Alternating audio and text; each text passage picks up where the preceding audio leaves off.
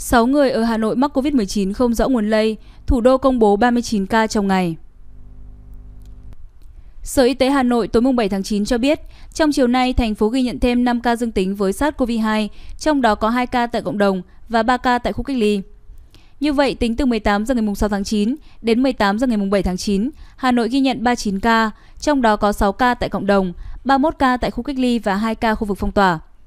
Hai ca phát hiện qua sàng lọc ho sốt cộng đồng là vợ chồng chị PTML, 29 tuổi và anh PMD, 30 tuổi, cùng ở địa chỉ 796B Bạch Đằng, Hai Bà Trưng. Ngày 3 tháng 9, chị L xuất hiện triệu chứng sốt, ho và nôn. Ngày 6 tháng 9, chị cùng chồng là anh D đi khám tại bệnh viện, được lấy mẫu xét nghiệm, kết quả cả hai vợ chồng dương tính.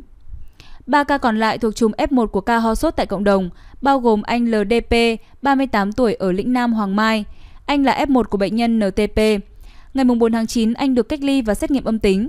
Ngày 6 tháng 9, anh có biểu hiện triệu chứng, được lấy mẫu cho kết quả dương tính. Trường hợp thứ hai là anh TDT, 19 tuổi ở Nguyễn Khoái, Thanh Trì, quận Hoàng Mai. Anh là dân quân tự vệ, được làm xét nghiệm định kỳ 3 ngày mỗi lần. Ngày 4 tháng 9, anh T được làm xét nghiệm lần cuối trước khi hoàn thành nhiệm vụ, kết quả âm tính. Ngày 5 tháng 9, anh hết nhiệm vụ và trở về nhà. Ngày 6 tháng 9, sau khi bệnh nhân NTTI dương tính, anh T được lấy mẫu xét nghiệm cho kết quả dương tính. Trường hợp thứ ba là chị TKL, 25 tuổi ở ngõ 328 Nguyễn Trãi, phường Thanh Xuân Trung, quận Thanh Xuân. Chị là F1 của bệnh nhân TMA. Ngày 25 tháng 8, chị được chuyển cách ly tập trung và đã được xét nghiệm nhiều lần âm tính. Ngày 4 tháng 9, chị xuất hiện triệu chứng, được lấy mẫu xét nghiệm cho kết quả âm tính và chuyển cách ly tại bệnh viện. Ngày 6 tháng 9, tại bệnh viện, chị A được lấy mẫu xét nghiệm cho kết quả dương tính. Như vậy, cộng dồn số ca mắc tại Hà Nội trong đợt dịch thứ tư là 3.619 ca. Trong đó, số mắc ghi nhận ngoài cộng đồng là 1.571 ca. Số mắc là đối tượng đã được cách ly là 2.048 ca. Tại Hà Nội, cùng với mục tiêu xét nghiệm toàn bộ người dân thủ đô từ nay đến ngày 12 tháng 9, Hà Nội còn đặt mục tiêu đến ngày 15 tháng 9 hoàn thành tiêm mũi 1 cho 100% dân số trên 18 tuổi. Đây cũng là một quyết tâm chống dịch của thành phố. Tuy nhiên thực tế đang cho thấy mục tiêu này khó khả thi khi mà nguồn vaccine đang khan hiếm. Đến ngày 7 tháng 9, Hà Nội đã tiêm được 2 triệu 457.329 mũi, đạt tỷ lệ 29,1% dân số. Trong đó mũi 1 là 2 triệu 190.772, mũi 2 là 266.557. Số người được tiêm bằng 36% người dân thủ đô trong độ tuổi tiêm chủng. Theo tính toán của ngành y tế Hà Nội, nếu tới đây Bộ Y tế phân bổ thêm cho thành phố hơn 1,5 triệu liều vaccine theo lời hứa thì vẫn chưa đủ để phủ mũi một cho người dân 10 quận huyện thuộc vùng đỏ hiện nay, chứ chưa nói là toàn thành phố. Để phủ xong mũi một tại các quận huyện Tây Hồ, Ba Đình, Cầu Giấy, Hoàn Kiếm, Đống Đa, Hai Bà Trưng, Thanh Xuân, Hà Đông, Thanh Trì, Hoàng Mai, Hà Nội vẫn cần thêm 800.000 liều vaccine. Còn nếu tiêm đủ mũi về công tác tiêm vaccine phòng COVID-19, Hiện nay năng lực của thành phố là 1.000 dây chuyển tiêm chủng, tối đa là 1.200 dây chuyền, có thể đáp ứng 200.000 mũi một ngày.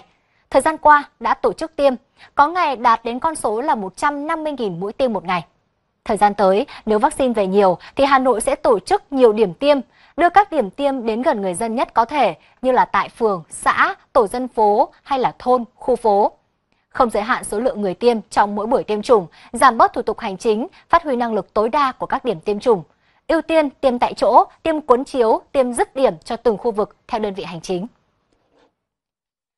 Thưa quý vị và các bạn, hiện nay có nhiều ý kiến về việc nới lỏng việc đi lại hoạt động của người đã tiêm đủ hai mũi vaccine COVID-19.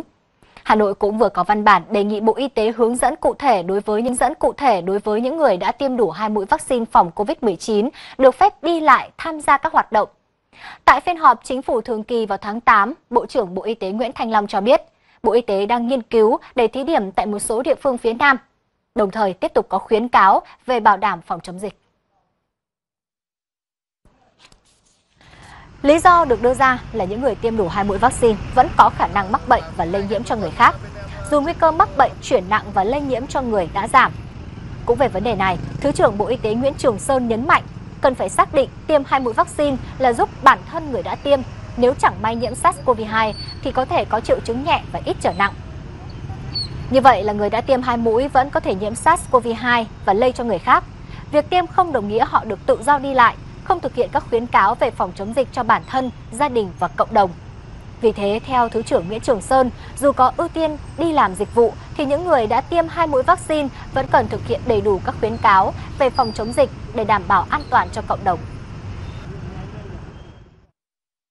Ông Đặng Quang Tấn, Cục trưởng Cục Y tế Dự phòng Bộ Y tế cho biết thêm, hiện tại Bộ Y tế đã có hướng dẫn về giảm thời gian cách ly đối với người nhập cảnh đã tiêm đủ hai mũi vaccine COVID-19 và có xét nghiệm âm tính. Ông cũng cho biết thêm, trên thực tế cho thấy tại một số quốc gia có tỷ lệ bao phủ vaccine COVID-19 cao, đặc biệt là những người đã tiêm hai mũi vaccine cao nên đã mở cửa. Nhưng sau khi mở cửa thì cũng ghi nhận những trường hợp mắc tăng lên hàng ngày. Do đó, các quốc gia này đã siết chặt lại các biện pháp phòng dịch và kéo dài thêm thời gian giãn cách. Thưa quý vị, nhằm kiểm soát người và phương tiện ra đường trong thời gian giãn cách xã hội, người dân không ra khỏi nhà khi không thực sự cần thiết. Ai ở đâu thì ở đó, người ở vùng nào thì ở vùng đó để phòng chống dịch COVID-19. Từ 6 giờ sáng ngày 8 tháng 9, các chốt kiểm soát của Hà Nội sẽ kiểm soát chặt, xử lý nghiêm đối với người và phương tiện ra vào vùng đỏ, không có giấy đi đường mới. Trước đó, từ ngày 6 tháng 9, Hà Nội tiếp tục thực hiện giãn cách xã hội lần thứ tư với phương châm siết chặt hơn, quyết liệt hơn, phương án giãn cách phòng chống dịch theo 3 vùng ở 3 cấp độ khác nhau, đảm bảo khoa học, chặt chẽ, phát huy hiệu quả công tác phòng chống dịch. Trong đó, Công an thành phố tiếp tục duy trì và tăng cường các lực lượng cắm chốt, các tổ tuần tra, kiểm tra, kiểm soát gắt gao nhằm phát hiện xử lý nghiêm các trường hợp người dân vi phạm các quy định về phòng chống dịch. Đồng thời, lực lượng công an tiếp tục kiểm soát chặt tại các chốt ra vào thành phố, thiết lập thêm 39 chốt kiểm soát người và phương tiện ra vào vùng đỏ hay còn gọi là vùng 1 theo giấy đi đường mới. Kể từ 6 giờ ngày 8 tháng 9, các chốt kiểm soát liên ngành của thành phố sẽ kiểm soát chặt người và phương tiện ra vào thành phố và ra vào vùng đỏ theo giấy đi đường mới. Vì vậy mà Công an thành phố Hà Nội thông báo để các cơ quan, đơn vị, doanh nghiệp, tổ chức và nhân dân biết chấp hành nghiêm theo quy định này. Lực lượng chức năng sẽ kiên quyết xử lý nghiêm các trường hợp vi phạm.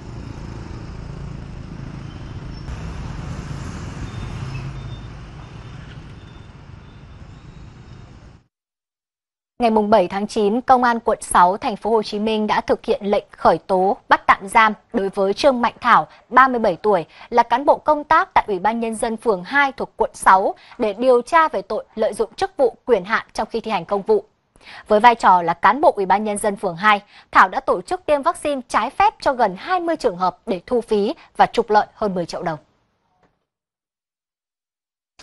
Theo cảnh sát, lợi dụng tình hình dịch COVID-19 diễn biến phức tạp ở thành phố Hồ Chí Minh, công tác tổ chức tiêm vaccine có sơ hở tại địa phương nên trong quá trình thực hiện với vai trò là cán bộ phường, Thảo đã móc nối làm hồ sơ tổ chức tiêm cho một số người không thuộc diện được tiêm vaccine.